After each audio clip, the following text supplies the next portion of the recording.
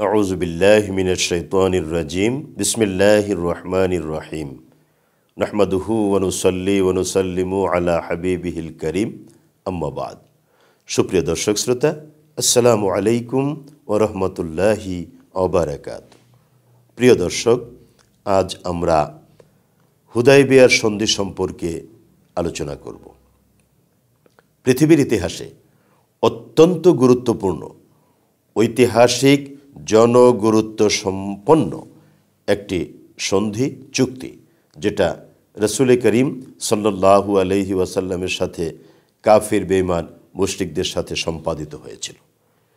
এর historical background backdrop আমি খুব সংক্ষেপে একটু বলে নেই। রসুল করিম সাল্লাহু আলহি ওয়াসাল্লাম যখন মদিনাতুল মুনাওয়ারাতে হিজরত করে চলে এলেন, তার ছয় বছর পর তিনি স্বপ্ন দেখছেন তিনি মক্কাতুল মুকাররমায় গেলেন, বাইতুল্লাহর জিয়ারত করলেন, ইত্যাদি। তিনি স্বপ্নের কথা সাহাবা একরামের সামনে মসজিদে নববীতে ফজরের সলাতের পরে ব্যক্ত করলেন, প্রকাশ করলেন এবং এতে করে প্রায় চোদ্দোশো সাহাবা একরাম রিদওয়ানুল্লাহ তালা আলাইহিম আজমাইন তারা প্রস্তুতি নিলেন। নবীজির নেতৃত্বে তারা মক্কাতুল মুকাররমায় নিজেদের প্রিয় মাতৃভূমিতে যাবেন বাইতুল্লার জয়ারতে যাবেন। রওনা হয়ে গেলেন, কিন্তু মক্কাতুল মুকাররমার কাছাকাছি একটি জায়গা আছে, হুদাইবিয়া। ওখানে যাওয়ার পরেই তারা বাধার সম্মুখীন হলেন। বাধা কারা দিল? ওই যে মক্কাতুল মুকাররমায় বিভিন্ন কাফির বেমান মুশ্রিকরা আছে, যারা মুসলিমদের চিরশত্রু এবং যারা মাঝে মধ্যে আক্রমণ করেই যুদ্ধ বিগ্রহ করেছিল। এরকম বহু যুদ্ধের সম্মুখীন হয়েছিলেন মুসলিমরা। ওই ওরা যখন দেখল নবীজি চোদ্দোশো সাহাবাইকরামের সাথে, তাদেরকে সাথে নিয়ে তিনি মক্কাতুল মোকারমায় আসছেন। ওদের মনে ভয়, ওরা ভয়ে প্রকম্পিত যে আমাদেরকে আক্রমণ করার জন্য, যুদ্ধ করার জন্যই হয়তো আসছে। তখন তারা এদের যাত্রাতে বাধা দিল এবং হুদাইবিয়ার নামক যে জায়গাটা, ওখানে রসুল করিম সাল্লাহ আলি ওয়াসাল্লাম যাত্রা বিরতি করলেন, তাবুতে সাহাবাইকরামদের নিয়ে অপেক্ষা করলেন। অবস্থান করলেন। ওদের সাথে সমঝোতার জন্য পরপর তিনজন দূত, আমরা যেটাকে বলি অ্যাম্বাসেডার, নবীজি প্রেরণ করলেন, কিন্তু না, সফল হলেন না।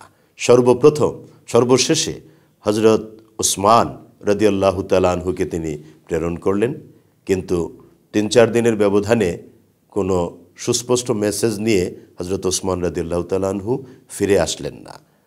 এখন নবীজির মনে সাহাবাইকেরামের মনে দ্বিধাদ্বন্দ্ব সন্দেহ যে ওরা কি ওসমান রাদি আল্লাহ তালাহুকে বন্দি করে রেখে দিল অথবা হত্যা করল? কোনটা? তখন তারা গাছের নিচে একত্রিত হয়ে নবীজির সাথে বায়াত নিলেন। বায়াতুর রেদওয়ান।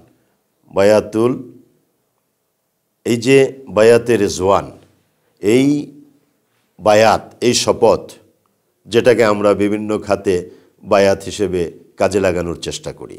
বায়াতের হাকিকত আমরা উপলব্ধি করতে পারি খুব কম, যার জন্য নানান জায়গাতে এটাকে বিফিটিং করার চেষ্টা আমরা করি।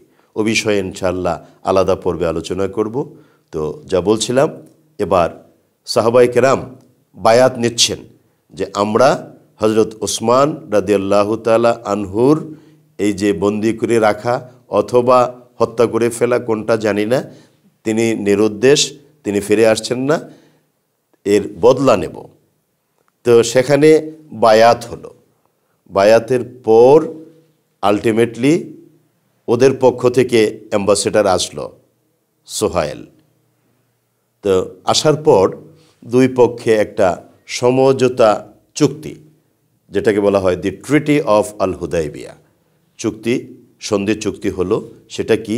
দেখুন, সুপ্রিয় দর্শক শ্রোতা, আমি যে বিষয়টা এখানে হাইলাইট করতে চাচ্ছি, গোটা পৃথিবীর মানুষের জন্য যে বিষয়টা জানা খুব জরুরি, খুব সংক্ষেপে, সেটা হচ্ছে এখন সন্ধি লেখা হচ্ছে। লেখক মনোনীত করলেন নবীজি হজরত আলী রদিয়াল্লাহ তালা আনহুকে। তিনি কলম হাতে নিয়ে লিখছেন। তো শুরুতেই লিখতে হয় আল্লাহর নামে শুরু করছি, যেটা আমরা আমাদের সিস্টেমে করি, বিসমিল্লাহির রহমানির রহিম। নবীজি বললেন, আলী, লিখ, বিসমিল্লাহির রহমানির রহিম। হজরত আলী রাদিল্লাহ তালাহু লিখলেন, ওরা আপত্তি করল, না এইভাবে লেখা যাবে না। তাহলে তো রহমান রহিম আল্লাহকে স্বীকারই করা হলো। অতএব এটা এভাবে না লিখে লিখো, বিস্মিক আল্লাহুম্মা।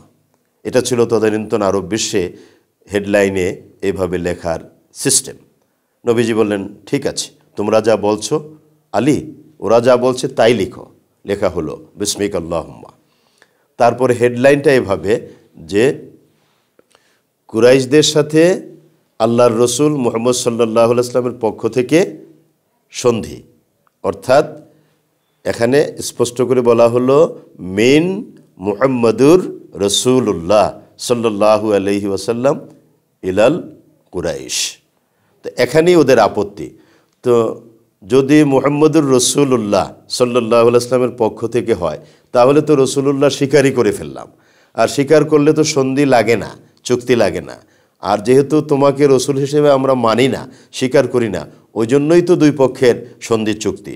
অতএব রসুল্লাহ কেটে দাও, লিখো মোহাম্মদ ইবনে আবদুল্লাহ। রসুল্লাহ সাল্লু আলহি আসাল্লাম বললেন, আলী রসুল্লাহ কেটে দাও। ইবনে আবদুল্লাহ লিখো।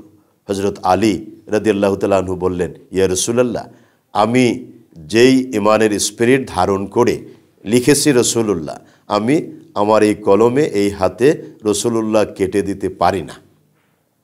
নবীজি বললেন, আলী, কাটতে হবে, কারণ ওরা মুসলিম না, ওরা আমাকে রসুল হিসেবে স্বীকার করছে না। আর তুমি এটা কেন মনে করছ? রসুলুল্লাহ কেটে দিলা, অপমানিত হলা। রসুলুল্লাহ কেটে দিলেই সত্যিকারের রসুলুল্লাহ শেষ হয়ে যায় না। নবীজি বললেন, তুমি লিখবে না, কাটবে না? তো ঠিক আছে, কলম আমাকে দাও। রসুল্লাহ সাল্লু আলী ওসাল্লাম নিজের মুবারক হাতে কলম নিয়ে রসুল্লাহ কেটে বললেন, ইবনে আবদুল্লাহ বসিয়ে দাও। প্রিয় দর্শক শ্রোতা, দেখুন, এই যে এখানে ইন্টারন্যাশনাল স্ট্র্যাটেজিটা কি? পররাষ্ট্র বিষয়ক যে কতগুলো মেথোডোলজি সিস্টেম আমরা রাষ্ট্র পরিচালনার ক্ষেত্রে অন্য রাষ্ট্রের সাথে, অন্য শক্তির সাথে সন্ধি করার জন্য, সমঝোতা করার জন্য যে সিস্টেমটা পাই, এখান থেকে আমরা উপলব্ধি করতে পারব। নবীজি বললেন, শেষ পর্যন্ত মুহাম্মদ ইবনে আবদুল্লাহ লেখা হলো। শেষ পর্যন্ত কতগুলো সন্ধির শর্ত ছিল? এর ভিতরে আগামী দশ বছর পর্যন্ত এই শর্ত সন্ধির শর্তগুলো বহাল থাকবে এবং যুদ্ধ বিগ্রহ তারা করতে পারবে না। মক্কাতুল মোকাররমা থেকে মদিনাতুল মোনাব্বারাতে যারা যাবে তাদেরকে বন্দি করে রাখা যাবে না। ইতোপূর্বে যারা গেছে তাদেরকেও বন্দি করে রাখা যাবে না। সকলকে ছেড়ে দিতে হবে, তারা মুক্তভাবে আসা যাওয়া করতে পারবে। মদিনাতুল মুনাওয়ারা থেকে কোনো মুসলিম যদি মক্কাতুল মুকররমা যায়, তাদেরকে ফেরত আসার ক্ষেত্রে কোনো বাধ্যবাধকতা নেই। ওরা আটকে রাখবে। নানান রকমের ব্যাপার। তারা পরবর্তী বছর হজ অথবা উমরা করতে আসবে, এবছর মদিনাতুল মোনাওয়ারায় তারা ফিরে যাবে, তাদের কাজ মক্কাতে যাওয়া হবে না। আগামীতে যখন তারা আসবে, তারা শুধু তলোয়ার আনবে, খাপে ঢুকিয়ে, তার মানে কি? তলোয়ার থাকবে বন্দি অবস্থায়। এটা আত্মরক্ষামূলক।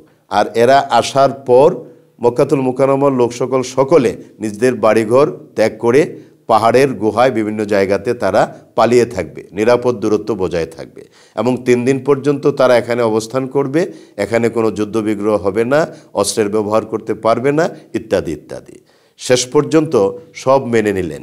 রসুল করিম সাল্লু আলহি ওয়াসাল্লাম আল্লাহ বললেন সাহবাই কেরাম, তোমরা চলো, মদিনাতে আমরা প্রত্যাবর্তন করি। আল্লাহ কোরআন করিমের আয়াতে কারিমা ঘোষণা করলেন ইন্না ফতাহনালাকা ফতহাম মুবিনা।